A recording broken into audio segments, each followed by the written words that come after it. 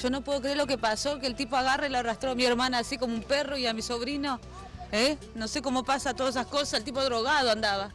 Ahora está en la comisaría de Castillo el tipo. No tiene que ser 16 años. ¿Ustedes conocían a este chico No, no, que conducía el Torino? No, nada que ver, manejó como un loco. Mi sobrino se cruzó y ahí lo arrastró por, hasta la esquina. ¿Eh? Lo, lo desarmó todo a mi sobrino. No se vale hacer eso. Y mi hermana está toda lastimada. La cervical, todo tiene la tiene, hermana? 70 de 21. ¿Qué heridas tiene, me pregunta Gustavo López, su hermana y también el- la bebita? No, la bebita está todo bien. Se lastimó la ¿Para de naricita. Sí, sí, la, la naricita. está.